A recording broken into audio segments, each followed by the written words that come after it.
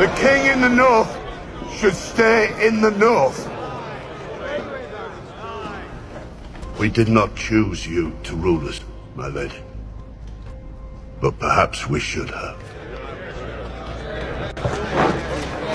The Knights of the Vale came here for you, Lady Stark.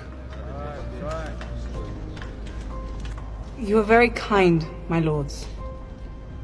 But Jon is our king. He is doing what he thinks is best.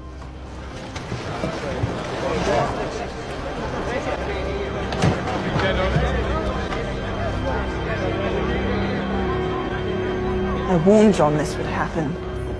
That he couldn't leave the North and expected to just sit and wait for him like Ghost. He didn't. He trusted you to hold it for him. Well, he's not making it easy. The Northern Lords are proud.